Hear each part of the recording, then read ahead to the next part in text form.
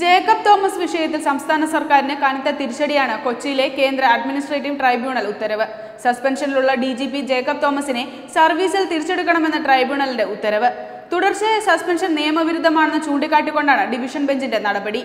അമരീഷ് കാലിയ ഭരത് ഭൂഷൺ എന്നിവരടങ്ങിയ ഡിവിഷൻ ബെഞ്ചിന്റേതാണ് തീരുമാനം. സസ്പെൻഷനെതിരെ ജേക്കബ് തോമസ് ഹർജി നൽകിയിരുന്നു. വിവിധ കാരണങ്ങളുടെ പേരിൽ സർക്കാർ സസ്പെൻഷൻ നടപടി നീട്ടിക്കൊണ്ടു പോവുകയാണെന്നാണ് ജേക്കബ് തോമസ് ഹർജിയിൽ ചൂണ്ടിക്കാട്ടിയിരുന്നത്. പലവിധ കാരണങ്ങളുടെ പേരിൽ ഉദ്യോഗസ്ഥരുടെ സസ്പെൻഷൻ നീട്ടിക്കൊണ്ടു പോകുന്നത് സർവീസ് ചട്ടങ്ങൾക്ക് വിരുദ്ധമാണെന്ന് വിലയിരുത്തിക്കൊണ്ടാണ് ട്രൈബ്യൂണൽ ജേക്കബ് തോമസിനെ തിരിച്ചെടുക്കാൻ ഉത്തരവിട്ടത്. സസ്പെൻഷൻ നീട്ടിക്കൊണ്ടു പോകുന്നത് എന്തിനാണെന്ന കാര്യത്തിൽ കൃത്യമായ വിശദീകരണം നൽകാൻ സർക്കാരിനായിട്ടില്ല. അതുകൊണ്ട് തന്നെ അടിയന്തരമായി ജേക്കബ് തോമസിനെ സർവീസിൽ തിരിച്ചെടുക്കണം. പോലീസിൽ ഒഴിവില്ലെങ്കിൽ തതുല്യമായ മറ്റു തസ്തികകൾ നിയമിക്കണമെന്ന ട്രൈബ്യൂണൽ ഉത്തരവിൽ പറയുന്നു. വിജിലൻസ് ഡയറക്ടർ സ്ഥാനത്ത് നിന്ന് നീക്കം ചെയ്യപ്പെട്ട ജേക്കബ് തോമസിനെ പകപോക്കലിന്റെ പേരിലും മറ്റ് പല കാരണങ്ങളാലും സർവീസിൽ നിന്ന് സസ്പെൻഡ് ചെയ്യുകയായിരുന്നു. ഓഖി ദുരന്തം കൈകാര്യം ചെയ്തതിലെ വീഴ്ച ചൂണ്ടിക്കാട്ടിയതിന് അച്ചടക്കരാഹിത്യം നടത്തിയെന്ന പേരിലായിരുന്നു ജേക്കബ് തോമസിന്റെ ആദ്യ സസ്പെൻഷൻ. പിന്നീട് സർവീസിലിരിക്കെ അനുമതിയില്ലാതെ പുസ്തകം പ്രസിദ്ധീകരിച്ചതിന്റെ പേരിൽ സസ്പെൻഡ് ചെയ്തു. അഴിമതിക്കെതിരെ നിലപാടെടുത്തതിന്റെ പേരിലാണ് സർക്കാർ തനിക്കെതിരെ തിരിഞ്ഞതെന്നായിരുന്നു ജേക്കബ് തോമസിന്റെ ആദ്യ പ്രതികരണം. അഴിമതിക്കെതിരായ ശബ്ദം കേരളത്തിൽ നിലച്ചിട്ടില്ല. തന്റെ വിരമിക്കൽ കേന്ദ്ര തീരുമാനത്തിന് ശേഷമെന്നും ജേക്കബ് തോമസ് പ്രതികരിച്ചു. ജേക്കബ് തോമസിന്റെ വാദങ്ങളെല്ലാം ട്രൈബ്യൂണൽ അതേപടി അംഗീകരിച്ചിട്ടുണ്ട്.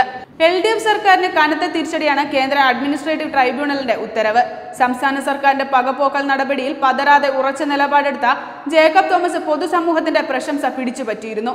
ആയിരത്തി തൊള്ളായിരത്തി എൺപത്തി അഞ്ച് ബാച്ച് ഐ പി എസ് ഉദ്യോഗസ്ഥരായ ജേക്കബ് തോമസ് നിലവിൽ സംസ്ഥാനത്തെ സീനിയർ ഡി ജി പി ആണ് തുറമുഖ വകുപ്പ് ഡയറക്ടറായിരിക്കെ ഡ്രഡ്ജിംഗ് നടത്തിയതിലെ ക്രമക്കേടുമായി ബന്ധപ്പെട്ട് അദ്ദേഹത്തിനെതിരെ വിജിലൻസ് അന്വേഷണം പ്രഖ്യാപിച്ചിരുന്നു. ജേക്കബ് തോമസിനെതിരെ ക്രിമിനൽ കേസും രജിസ്റ്റർ ചെയ്തിട്ടുണ്ട്.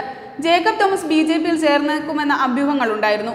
B J P R S S നേതാക്കളുമായി ജേക്കബ് തോമസ് ഡൽഹിയിൽ ചർച്ച നടത്തിയതോടെയാണ് അഭ്യൂഹങ്ങൾ ശക്തമായത്. ചർച്ച നടത്തിയത് ജേക്കബ് തോമസ് സ്ഥിരീകരിച്ചിരുന്നു. ആർ എസ് എസിന്റെ ചില വേദികളിലും ജേക്കബ് തോമസ് പ്രത്യക്ഷപ്പെട്ടിട്ടുണ്ട്. ലോക്സഭാ തെരഞ്ഞെടുപ്പിൽ ചാലക്കുടി ലോക്സഭാ മണ്ഡലത്തിൽ നിന്ന് മത്സരിക്കാൻ ജേക്കബ് തോമസ് തയ്യാറെടുത്തെങ്കിലും വിരമിക്കൽ പദ്ധതി പാളിയതോടെ മത്സരിക്കാൻ സാധിക്കാതെ പോയി. അടിയന്തരമായി ജേക്കബ് തോമസിനെ സർവീസിൽ തിരിച്ചെടുത്തില്ലെങ്കിൽ സംസ്ഥാന സർക്കാരിന് കോടതി വിമർശനം നേരിടേണ്ടി വരും. സർക്കാരിനെതിരെയുള്ള നിയമയുദ്ധത്തിൽ ജേക്കബ് തോമസിന് പൂർണ വിജയമാണ് ട്രൈബ്യൂണൽ വിധിയിലൂടെ കൈവന്നിരിക്കുന്നത്.